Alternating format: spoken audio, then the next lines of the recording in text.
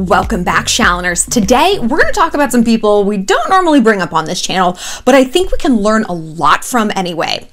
TikTokers. Not just any TikTokers, the kids from Hype House. And, you know, we're not going to call them kids because they're full grown adults. At least they are in terms of their baloney and their bullshit and their manipulation. There's been a lot of stuff going down with this, like, basically crew of creators. Like, Picture me living in a house with other YouTubers and assigning ourselves an incredibly lame squad name like Hype House. Oh, my sleeves wet. Like if, if as though we were like on some sort of like whack after school special, like, hey, don't do drugs. It's better to read a book.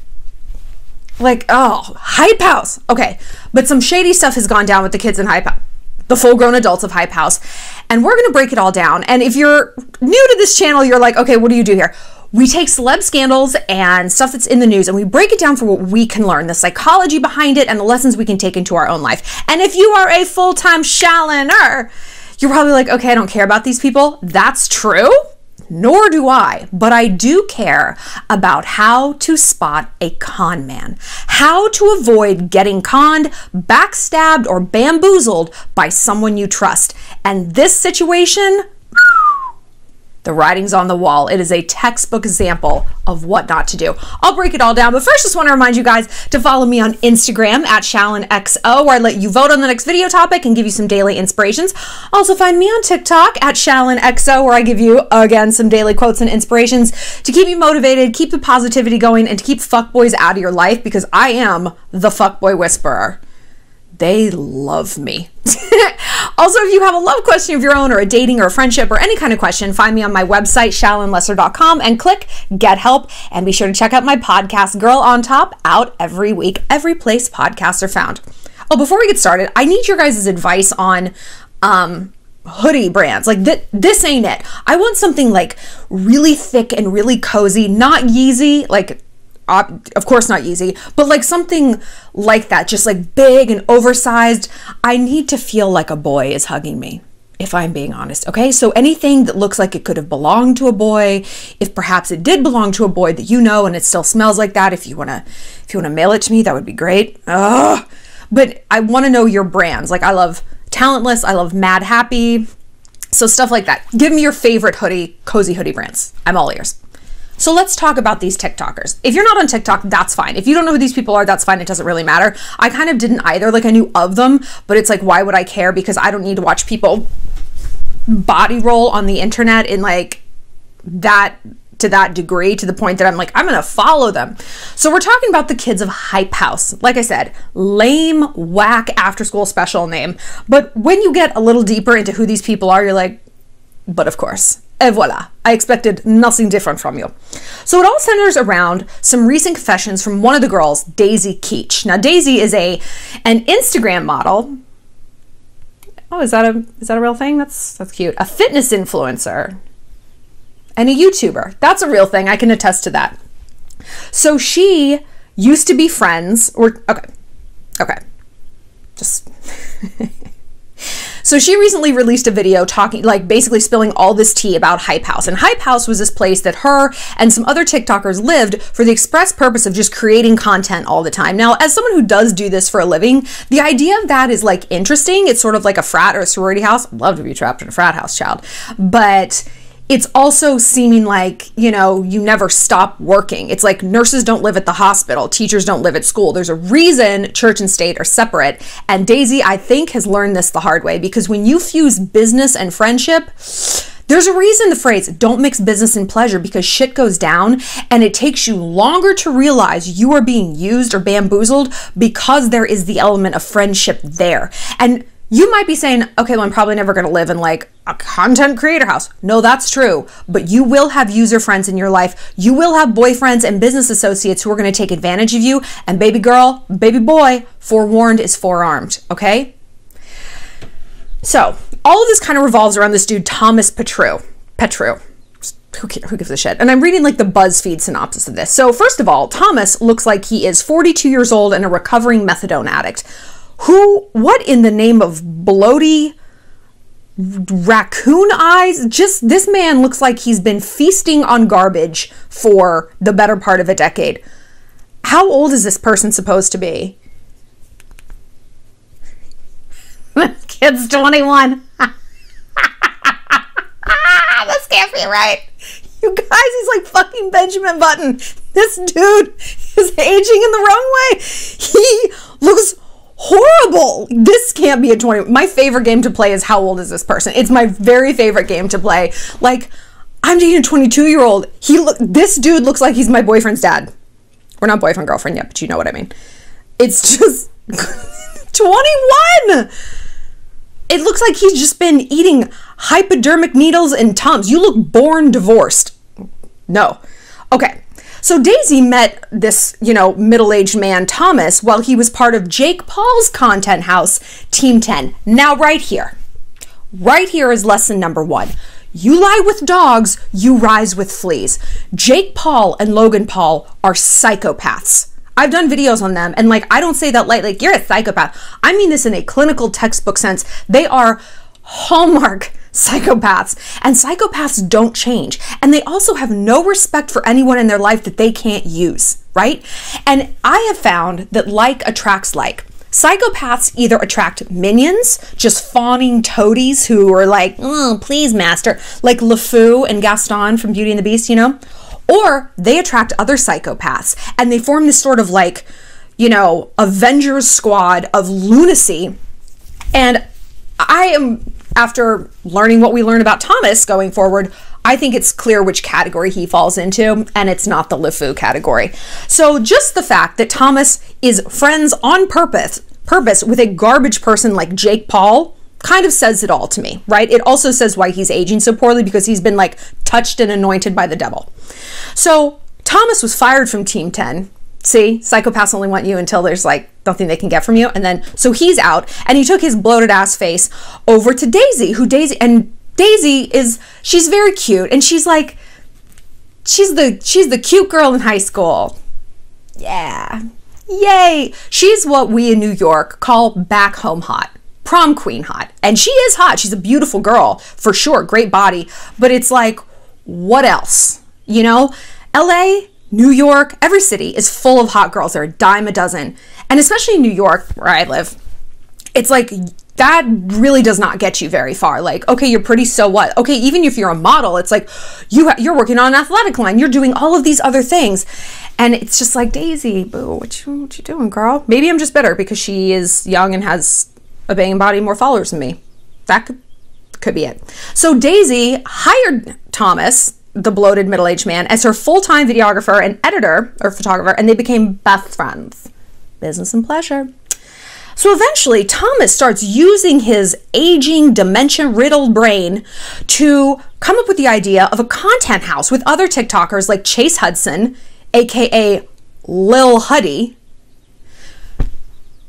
there's nothing I hate more than people who give themselves a nickname. Nothing I hate more than people who give themselves a nickname. It's so cringy. Stop trying to make bubbles happen, Caitlin. It's not like stop it.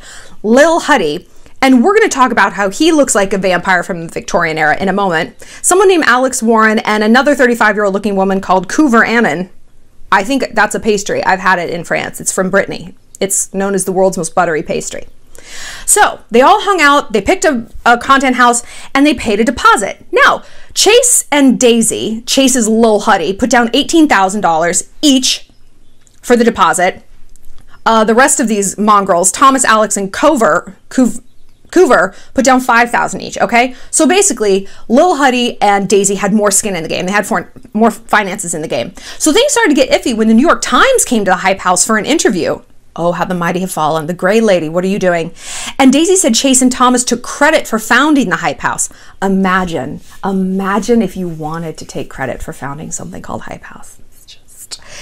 And Daisy said that this was like her first big press interaction, and she felt like anxious because she didn't have a manager with her and basically she got steamrolled by the guys, right? And she thought that they would be giving her credit also for helping found Hype House, but that never really happened. And according to Daisy, this became like a recurring theme. Thomas and Chase, lol huddy. Just Thomas, Chase, whichever one you are. I will pay you 80% of my salary for the next five years if you change your name to Lil Handjob. How about that? It's less lame than Lil Huddy, I promise you. So these two fucking gonorrhea factories kept doing interviews without Daisy and not like giving her any shine or any clout. And she's like, the whole point of us being in here is to help each other, right? No, baby girl, not right. So Daisy claimed that she confronted Thomas about him not crediting, crediting her, but he continued to do it anyway. Then she got a call from her lawyer and manager saying that Chase was saying in articles that he put down all of the money for Hype House. And she's like, oh, no. She has a really good body. Daisy also claimed that Thomas didn't get any of the other Hype House members access to any of the social media. Now, this is a big deal, right? Because what's the point? Like, if he controls it all, he controls all the followers. And so if he decides to kick you out, you are effect- effectively like excommunicated from this business. And again, you're probably like, none of this applies to me. I want you to sit here and think about other times people have taken credit for your work group projects at school, group projects in an office. Oh, yeah, boo, they don't stop when school ends. They don't stop. Those same people who didn't pull their weight doing the dioramas, they graduate into jobs and they continue the bullshit. They continue it. Or when you have like just have you ever have you ever lent someone something to wear like a dress or jewelry and they get complimented on it and they're like thanks. I'm like thanks. No, the end of that sentence was thanks it's actually Shallon's. That's the end of that sentence. Like just little things like that make me crazy. And when I've observed people doing it, I'm like, that's a red flag. And now I see you. Now I see the writing on the wall about who you are. So, this gross bastion of doofuses. So, Daisy also said that the house started to feel like, quote, a fucking dictatorship. She said that other members didn't know what brand deals were coming in and if they were getting paid. So the dudes were like using the clout from Hype House, which she started to make money and she wasn't getting a cut of it. And Thomas had said, oh, the house makes no money, but he buys like a $10,000 cat. They're like free, okay? So she was also saying that um, they were doing things like having photo shoots and she as someone on the lease was like nervous about this because if they mess up the house like it's her money on the line so all of this just added up to Thomas saying something bullshitty. He said allegedly, I'm just more of a businessman and like girls like Daisy, she's just another hot Instagram model with a shelf life. Here's the thing. He's not wrong. We're going to get back to that. We're going to get back to that. So, feeling like she was going to be cut out, Daisy wanted to claim her share in the company and filed for the Hype House trademark. Again, imagine fighting over these words. When she confronted Thomas about her percentages, Daisy said that he told her the 18 grand she put down for the house was just a bunch of friends to live together and had nothing to do with the Hype House as a business. What is this, ladies? It starts with a G gaslighting. Gaslighting is something we talk about a lot here on the channel, and it happens when someone tells you that what you're observing is not correct. And you're like, no, but we, we went the, no, no, no, that's not right. You're misremembering. This is all just so we could like bro out and like, I don't know if there was any brand deals to be had. That was like totally an accident. I have emphysema because I'm actually 47. So then Daisy concludes with she stressed that she only met these people a week before they all moved in, and they all put down a huge sum of money so they could have a big enough house with enough rooms and enough space for everyone to make content. She said, We went into this knowing we were going to be in business together.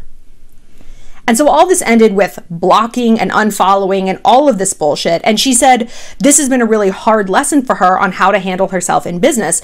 And the end result is Daisy is suing Thomas and Chase for striking deals without her, claiming to be the only founders and exiling her from the hype house. Daisy, I mean this with love. Good fucking luck, girl. You kind of don't have a leg to stand on. The case law for stuff like this is so new. Like, what the hell is a content house? Do you think there's been case law that has been escalated up to the Supreme Court to like for precedence, anyway, it's not going to happen. So Daisy's right. She learned a very, very hard lesson for all of this. And I like, I feel sorry for her, but I'm also not surprised because there's a few things that she did that were just rookie mistakes. You know, not even rookie mistakes, just mistakes that a lot of us make.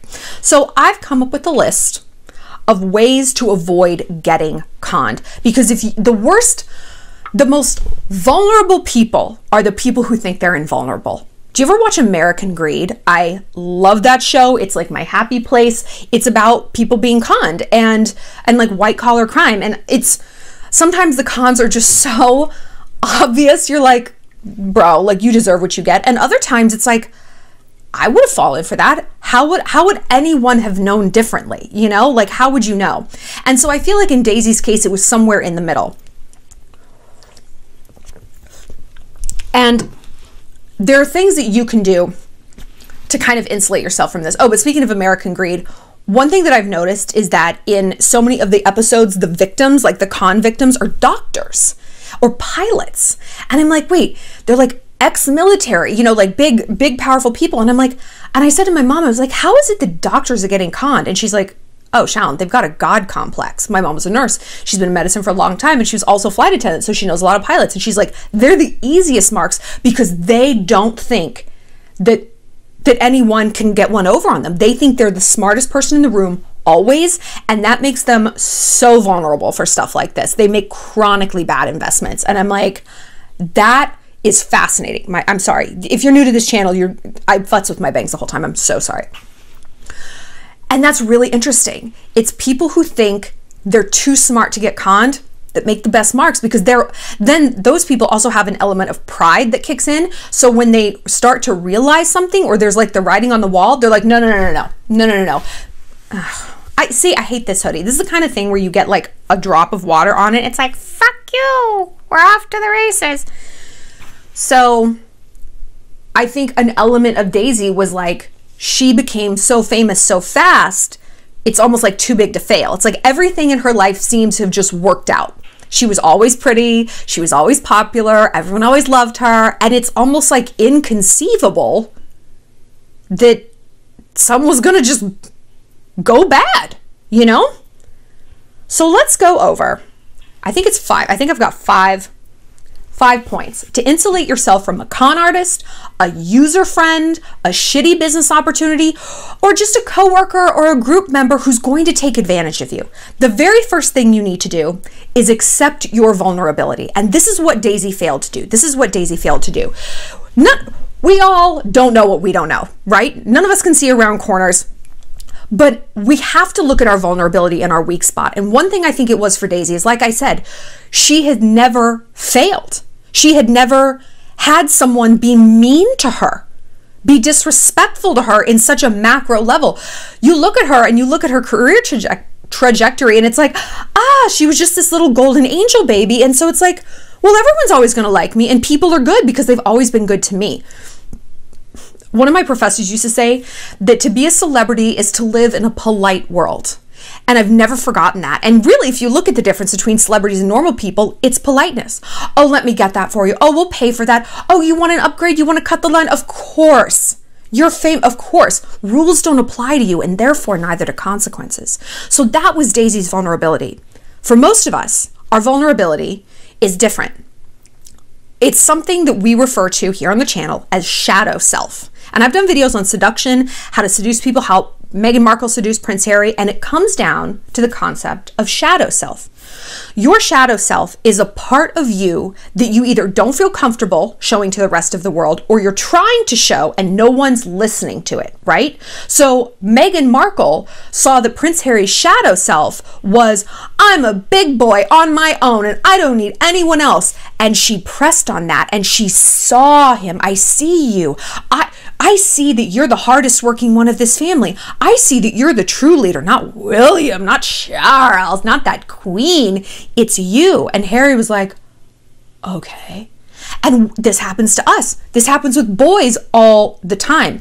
It's something I call the book versus the reader. When, when a boy comes along and he sees us, my ex boyfriend saw my business side and most people don't. They look at me, and I'm like, mm, I'm like a Daisy Keech. It's like a silly little blonde girl.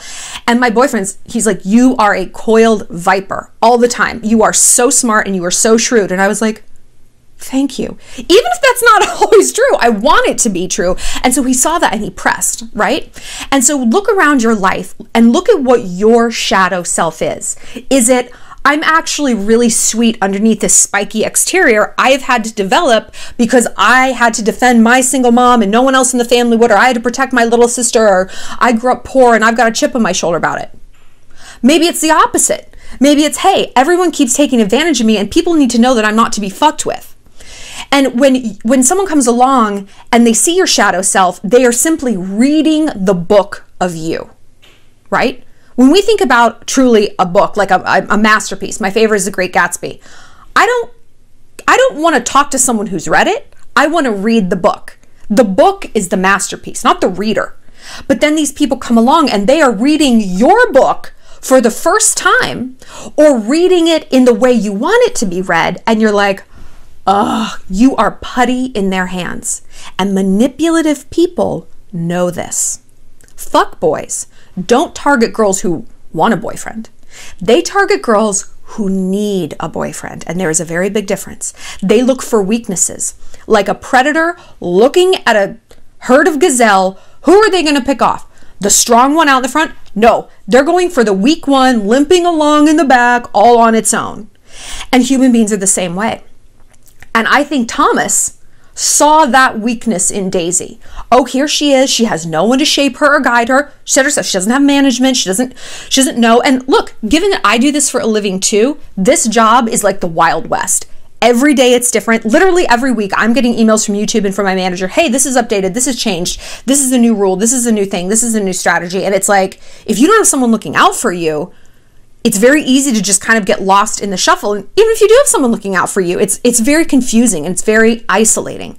So for someone to come along and be like, "I got you, baby girl," you are going to go with them like a lamb to the slaughter, and you have to be aware of that because none of us want to look at our weak spots, right? It feels embarrassing, it feels cringy, and it feels bottomless. Oh my God, like I want to be taken seriously as a business person. I want people to know how sweet I am. I want people to see me as a winner and not a loser and a product of my environment. But if you can just be aware of that, you become more resilient to manipulation. I've done videos, we did Evil Week here on the channel, and I talked a lot about my very favorite book, speaking of book, The Art of War. The Art of War has inform- informed a huge chunk of my personality and how I interact with the world. And one thing that you learn about war is you can't just understand what the enemy possesses in terms of like tanks, horses, artillery. You have to know what you possess and what you don't possess.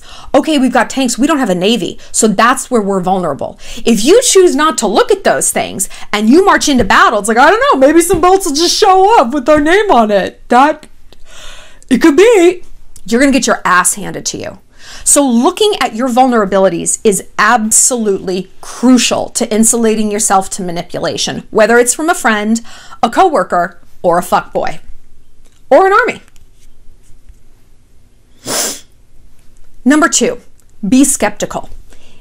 There is nothing more antithetical to enthusiasm than skepticism. And manipulative people they know when they see our shadow selves they know who we are and those weak spots to press on and they know what we want to hear right and so they're going to frame every opportunity as the ultimate opportunity and I hate that this phrase is so true, and I have had to learn it the hard way. And my whole goal here on this channel is for you guys to stop learning lessons your own for yourself and learn from my mistakes instead.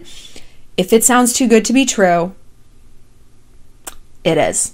There's no such thing as a free lunch. People are going to be willing to do you favors and they're going to be willing to help you and teach you. But if something sounds too good to be true, it is. One of you guys, one of you Shalloners who I talk to a lot uh, via my website, if you want it, she's like, this guy, he wants, and she was trapped in her small town in Texas with super toxic parents. And she's like, this guy in New York who I've talked to online, and he has a big apartment and he says I could stay there for free and he doesn't want anything in return. He's going to give me money every month. And I'm like, that is a lie. That's a lie.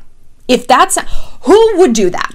Who would give that for nothing? These girls who are sugar babies and it just looks like, oh, you just have to like go out and just hang out with him. They're giving hand jobs. I'm sorry I brought up hand jobs so many times in this video, but when it's appropriate, it's appropriate. Like that's that's not the way it is. And even these Instagram models, Instagram models, the vast majority of time are prostitutes or they're sugar babies or they're fucking poor and they're paying photographers to shoot pictures of them. So what you see is not what you get. And you have to be aware of that when someone is offering you something that seems antithetical to logic.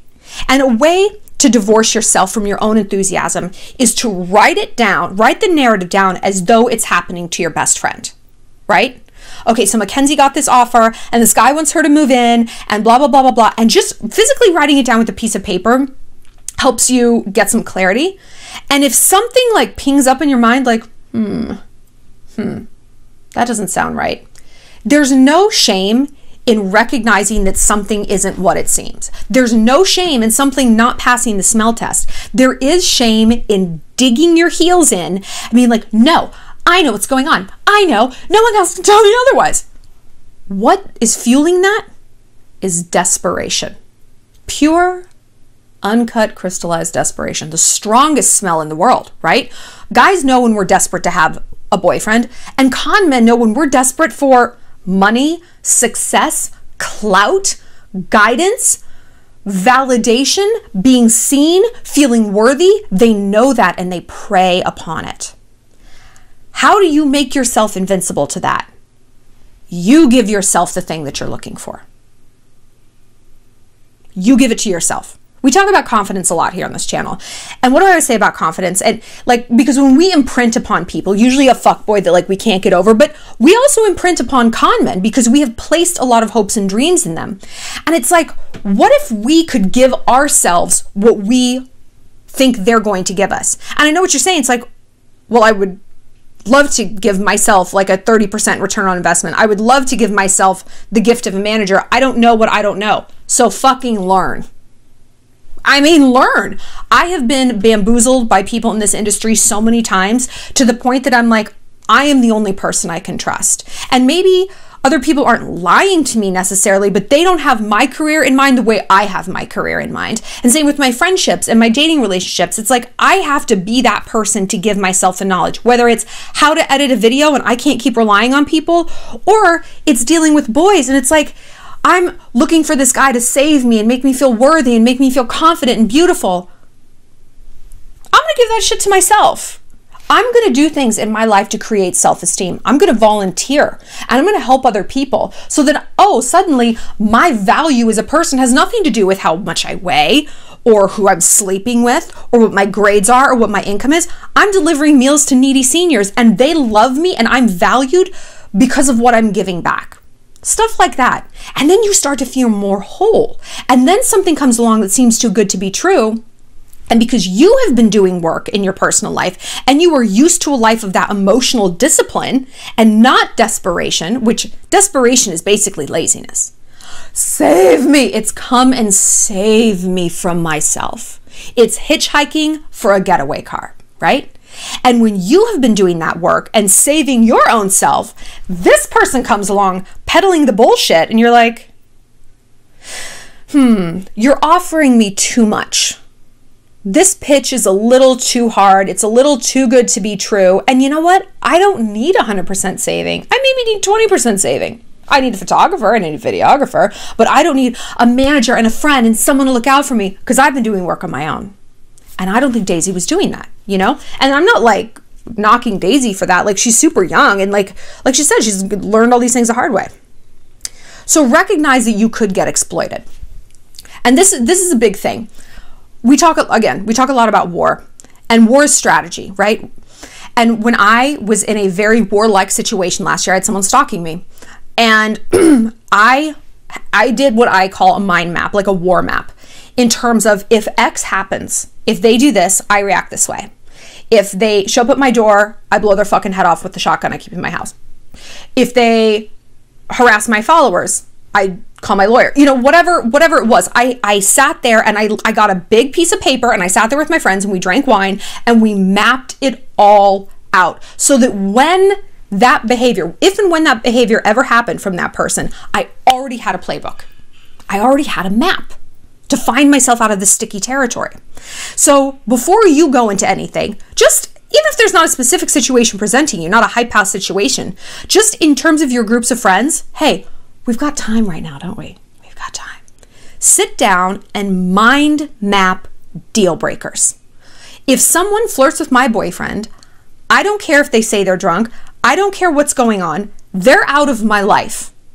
If someone uses me for something, they're out of my life. Come up with your own war map. And Daisy should have done this. I mean, we all could be doing this of how it would be possible to be exploited. Right? Okay, I put down this money, they put a huge hole in this wall. I my deposit goes out the door because I put in 18 grand and they put in 5. How am I going to feel if that happens? And to sit and imagine these things is painful and it's icky because it means you have to look at your own weaknesses and vulnerabilities again, right? Goes back to step number one. It also means you have to confront the possibility that maybe you're getting into a situation with a lot more variables than you want. But we have to walk in the light of the truth. We say that all the time here. You got to walk in the light of the truth. Whether it's your boyfriend is never going to love you, your friend is using you for your family's lake house, or you're getting into a business arrangement that is predicated on someone else taking advantage of you.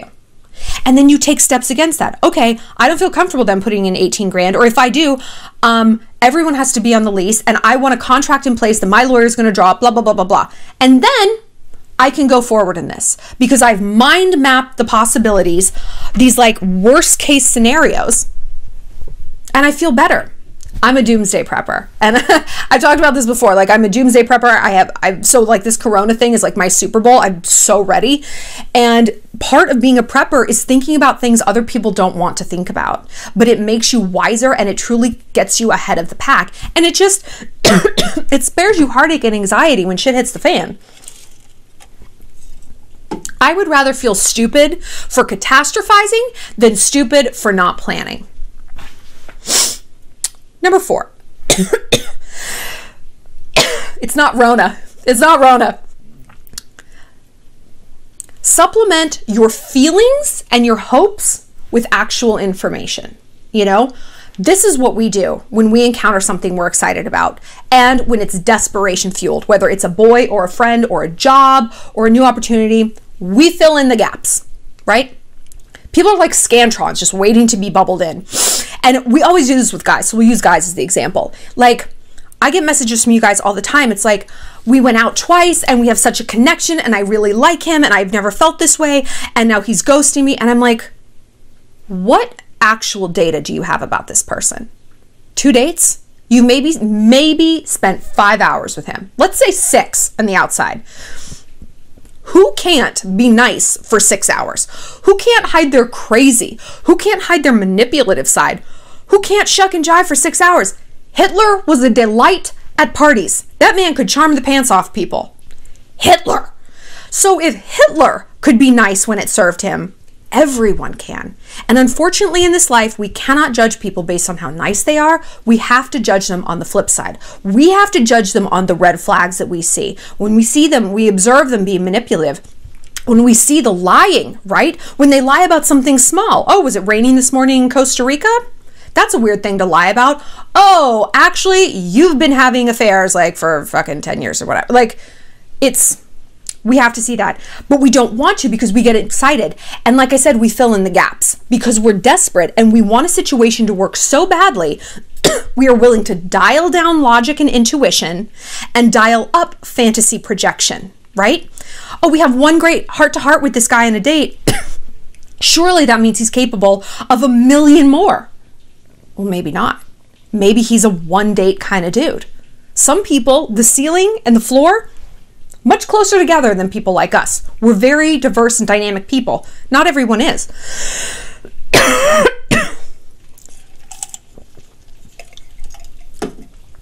so, again, your crucial weapon is going to be neutrality.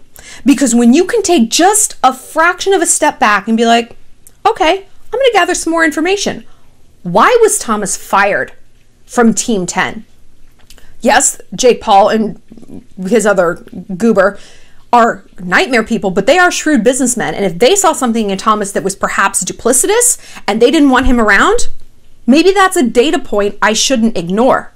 Let me do an audit of his financials. What's his credit score? You know, stuff like that. And it's hard because it seems like a big I told you so.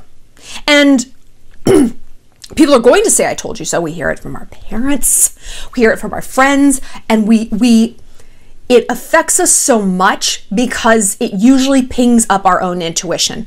I've only ever gotten the anger the angriest I've ever been about I told you so's or when I I told me so too. And I knew like I knew like I knew something wasn't right.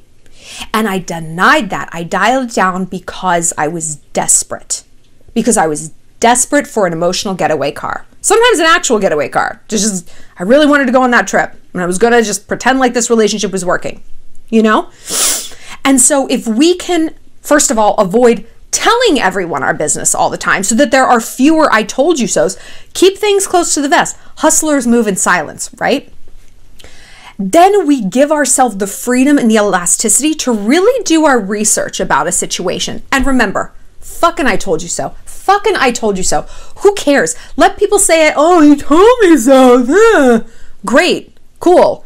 It doesn't matter what anyone else says. It matters what you yourself are learning and how you're growing and how you're protecting yourself from people who don't have your best interest at heart. And all right, let those other little chickens be like, so. They're not growing and learning. You are. And growth is painful. That's why it's called growing pains. Growth is awkward and it doesn't happen in moments of comfort. We don't grow in our comfort zone and there's no comfort in our growth zone, consequently. So if you're having an I told you so moment, lean into it. As painful and cringy and incensing as it is, approach it from neutrality and let the lessons be learned. Because one thing I notice when you guys message me and when you can't get over something and you're caught in this bitterness loop, whether it's a family member, a failed business venture, a relationship, it what it all has in common is you're not learning from it. You're not learning from it. He did this, he did that. Yeah, people do things, but what did you learn? Because once you turn something into a lesson, it has a context in your life. It's not just a painful chapter for the sake of being painful and you feel stupid and I'm an asshole and great, my life's in shambles. It's okay, that was a lesson learned. Any fable, any story you read, there's pain and there's hard times and there's chances for that character to be told, I told you so. But therefore, on the other side of that, there's growth we can't change what happens. We can change what it meant through that little sliver of neutrality, through looking at what our shadow self might be, through stepping back and being like, here's how I'm going to make myself as emotionally bulletproof as I possibly can so that when I go into a business situation or a relationship or a friendship, it's because I want it, I don't need it. And therefore, I am bulletproof to manipulative people and con men. Right? Man, TikTok. Oof. Do you guys like TikTok? I don't. It's it's fine. Again, I've seen enough like body rolls to like last me a lifetime. And Drake, the the audacity of Drake, you know we hate Drake on this channel, of putting out that bullshit sl- song Toosie Slide. We are all trapped in quarantine. Have we not suffered enough? Have we not suffered enough seeing people doing their dumbass dances on TikTok? And now there's another one. Now there's another. Right foot out, left foot out. Ah, I hate. I, I'm so triggered. It makes me insane. But speaking of TikTok, follow me on there at ShallonXO. Also, hit me up on Instagram at ShallonXO where I let you vote on the next video topic. And like I said, if you have a love question of your own or dating thing, whatever, find me on my website, ShallonLester.com, and click Get Help. Tune in tomorrow. We're doing a video every single day during quarantine. I'm here for you guys. Mwah!